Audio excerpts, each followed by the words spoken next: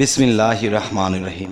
হে সমস্ত জগতবাসী আজ আমি শামীম আলী চিস্তি আপনাদের সামনে যে আলোচনাটি নিয়ে আসলাম, অনেকেই একটি কথা বলে থাকে যে আমরা সাধনা করি, মুর্শিদ ধরেছি বা আল্লাহর আমল করি, অনেক কিছু করার চেষ্টা করি। কিন্তু আমাদের তো কালবের জিকিরটা হয় না, আর কালবের জিকিরটা মনে হচ্ছে হচ্ছে, মনে হচ্ছে হচ্ছে, কিন্তু তারপরে দেখি যে না, কালবের জিকিরটা হচ্ছে না। এখন কালপে জিকির না হওয়া পর্যন্ত তো আমি পবিত্র নয়। আমার কালবের মধ্যে যে আল্লাহকে বসাবো, সেখানে তো আল্লাহর জিকির হচ্ছে না।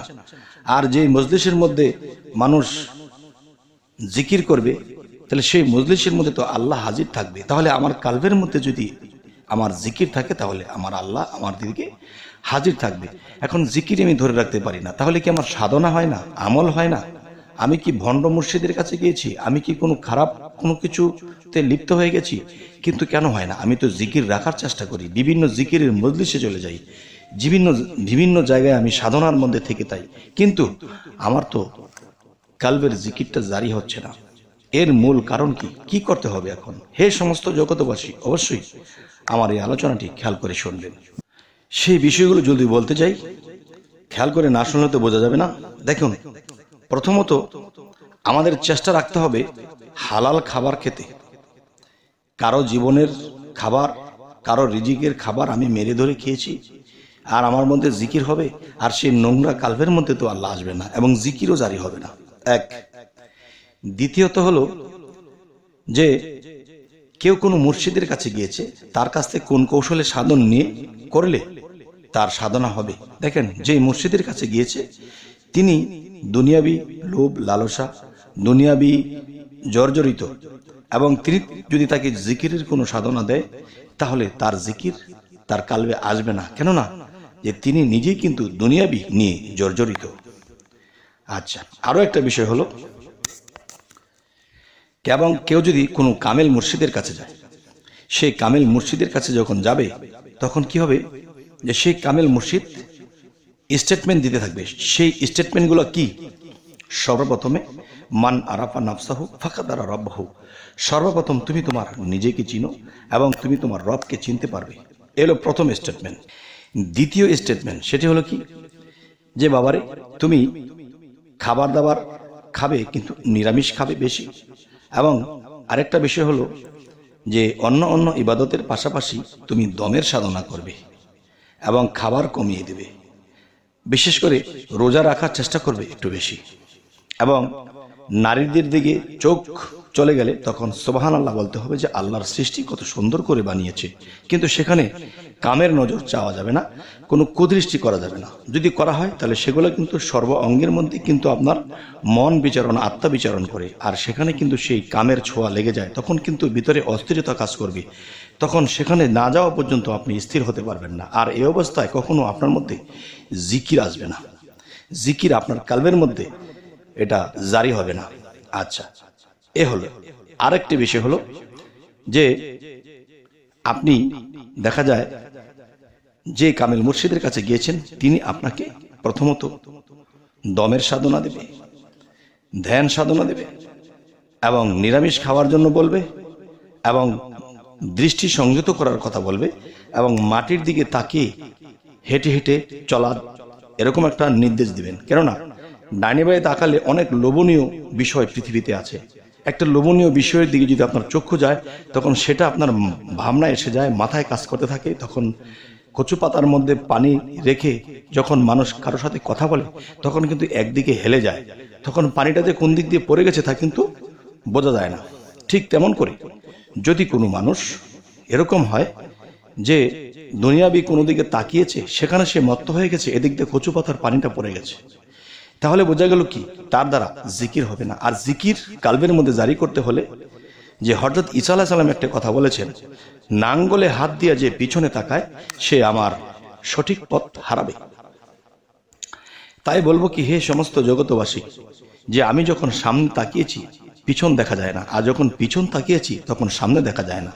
ঠিক যারা আল্লাহকে লাভ করবে, আল্লাহকে কালবের মধ্যে বসাবে তখন সেই ব্যক্তিটির এমনই হতে হবে যে, সে আল্লাহর দিকে যে তাকিয়ে আছে, তার পিছন মিকি তার তাকানোর আর কোনো প্রয়োজন নেই। আর যদি প্রয়োজন থাকে, আর যদি তাকায়, তাহলে দৃষ্টি তার অন্যদিকে কাজ করবে পিছনে। আর পিছনে কাজ করলে তার সামনে নষ্ট হয়ে যাবে। ঠিক আল্লাহকে পেতে হলে এরকমই একটা ত্যাগ দিতে হবে। সর্বত্যাগী, অনুরাগী তিনি হন বৈরাগী। আসলে বৈরাগী যে একটি কথা আছে এই বৈরাগ্য যারা করে, তারা ঝোলা নিয়ে বের হয়ে গেছে। এই ঝোলা নিয়ে যে বের হয়ে গেছে, এটা কিন্তু আসলে বৈরাগ্য নয়। বৈরাগ্যটি তারই হয় যারা সংসারের মধ্যে রয় এবং সংসারের মধ্যে থেকে থেকে সে দুঃখ, কষ্ট সয়। দুঃখ, কষ্ট সয় কিন্তু সংসার চালিয়ে যায়। এরকম করতে করতে করতে করতে একটা সময় দেখা যায় কি, যে সে অনেক ধৈর্যশীল। তখন আল্লাহ তাকে দেখে যে সে আমার পরীক্ষায় পাশ করে ফেলেছে, তখনই আপনার সংসারের মধ্যে দুঃখ, দুর্দশা, যন্ত্রণা কমিয়ে দেয়। এবারে আপনার সংসারের মধ্যে যে টাকা পয়সা না থাকে বা সম্পদের ঘাটতি থাকে বা চলার ব্যবস্থা না থাকে, সেটাও কিন্তু আল্লাহ করে দেয়। আর কোত্থেকে করে দেবে, আপনি জায়গায় বসে আপনার আল্লাহর কাজ করবেন, আল্লাহ তখন আপনার কাজ করতে থাকবে সুবহান আল্লাহ তবে হে সমস্ত জগতবাসী আজকের এই আলোচনাগুলো আপনাদের সামনে কেন করলাম অবশ্যই কিন্তু আপনাদের বোঝা উচিত। তবে আরও একটি বিষয় আমি আপনাদের সাথে আলাপ করব। সেটি হলো, দেখুন, যে নিরামিষের কথা আমি বলে থাকি, কেন? নিরামিষটা খেলে কি হয়? এই নিরামিষটা খেলে এই জিনিসটাই হবে যে দেখবেন একটা হাতি, সে কিন্তু শক্তিশালী কম নয়। কিন্তু সে কিন্তু অনেক বড়, অনেক শক্তিশালী। কিন্তু সে কি খায়? ঘাস খায়, কলা গাছ খায়। কিন্তু সে কিন্তু মাংস খায় না। তাহলে তার শক্তি কিন্তু কম নেই। তাই বলে ভাববেন না যে আমরা ঘাস খাব, আমরা নিরামিষ খাব, আমরা মাছ মাংস খাব না। তাহলে একটা জিনিস দেখেন যে উচ্ছৃঙ্খল যদি কোনো মানুষের মধ্যে থাকে, সে ধ্যানে কখনো ডুবতে পারে না।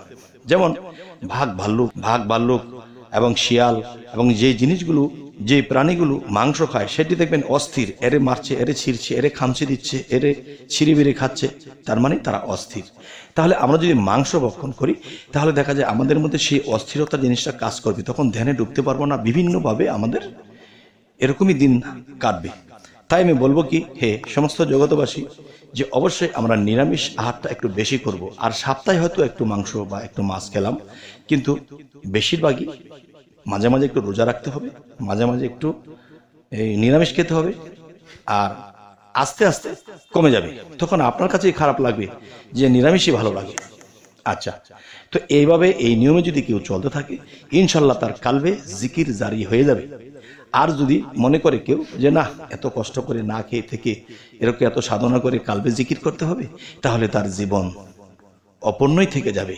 এই পৃথিবীতে তার জীবন শূন্যই থেকে যাবে। কারণ আল্লাহ কি বলেছে? যে আমাকে ডাকে, আমার ইবাদত করে এবং তার কালকে পরিষ্কার রাখে। সেই ধন্য, সেই সাফল্য জীবন। যেমন দেখেন, আল্লাহ কিন্তু এটাও বলেছে কোরআনে, তোমরা ইব্রাহিমের কাবাকে তোমরা পরিষ্কার, পরিচ্ছন্ন রাখো। এটা বলেছে। আবার বলেছে কি? তোমরা আমার কাবাকেও পবিত্র রেখো। তাহলে ইব্রাহিমের কাবা আবার বলতেছে আল্লাহর কাবা। আল্লাহর কাবা কোনটি? আল্লাহর কাবাই হলো মমিনের কাল্ব আর মমিনের কাল্বের মধ্যে আল্লাহ এসে বসে। তবে হে সমস্ত জগতবাসী আজকের যে এই আলোচনাগুলো করলাম, অবশ্যই কিন্তু আপনাদের এই জিনিসগুলো বোঝা উচিত যে অবশ্যই আমরা যদি ত্যাগী না হই, তাহলে আল্লাহকে পাবো না। আর যদি ভোগী হয়ে থাকি, তাহলে আমাদের জীবনটাই শূন্য। তবে অবশ্যই আমাদের জীবন পূর্ণ হয়ে যাবে। এই আলোচনা যদি আপনাদের ভালো লাগে, তো অবশ্যই সাবস্ক্রাইব করে নেবেন। পরবর্তীতে যেন ভালো আলোচনা এনে দিতে পারি। যদি ফেসবুক হয়, অবশ্যই ফলো রাখবেন। আল্লাহ হাফিজ।